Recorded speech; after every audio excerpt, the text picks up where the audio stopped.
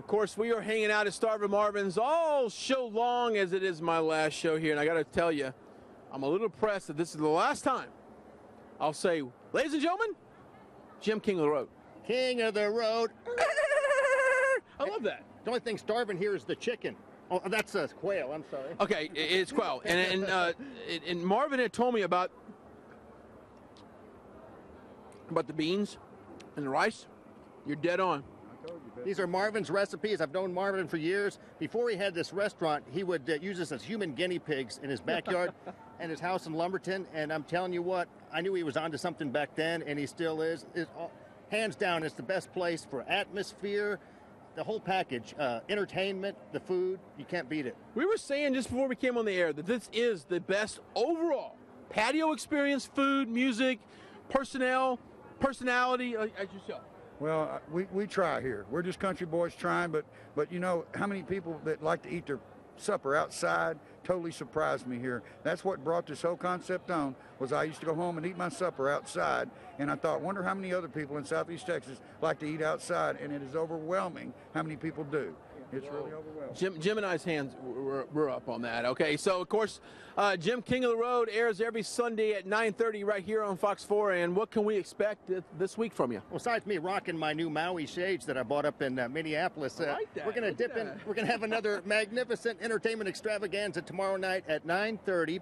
Uh, following local news, we're gonna dip into the Royal Archives and uh, re-air some uh, great footage of uh, uh, Bart Crow band that we got up in uh, Jasper recently. Bart Crow recently released an album called Dandelions. He's very well known on the Texas country charts. Two number one hits on that album. We'll uh, dust that off and re-air it. We're also going to pull a legend out of the archives, the Royal Archives. Tomorrow night we'll have uh, Johnny Lee on. We recently saw him at a local venue, the Whiskey River Place here in town.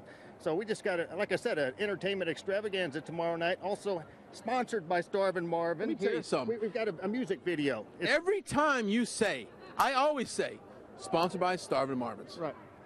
We always talk about Marvin. We talk Marvin up every time, especially during crawfish season. But we've got this uh, great new video. It's called um, uh, Back in the Day. It's Jesta James. He's a rising country star. We'll air that tomorrow night. Again, sponsored by Starvin Marvins, aka Marvin Atwood here. I love it. And of course, uh, no no NASCAR to deal with. No nothing that's gonna no baseball. Then nothing's gonna push your show past the uh, normally scheduled time. I think there is a sporting event. I'm not quite sure, but I, I believe there is one that could push us up a few minutes. But we're normally right after the news. I mean, we're always at right after the news, so you can just expect that. And uh, we're really going to miss you, man. Well, yeah, I'm going to miss you guys too, actually, and uh, I will be coming back and forth from uh, Dallas to here on the weekends. So, Marvin, I'm just telling you, I'm going to probably sit somewhere over here in the shade, and I'm planning to have one of these. Okay, well you're very welcome. Come on back. We'll be looking for you, Brian, and expecting you. I love it. I, lo- I love these guys here. I mean, is this not a great venue or what? Like, I'm not. You know what? I'm not just saying that because we're here. This is a great venue.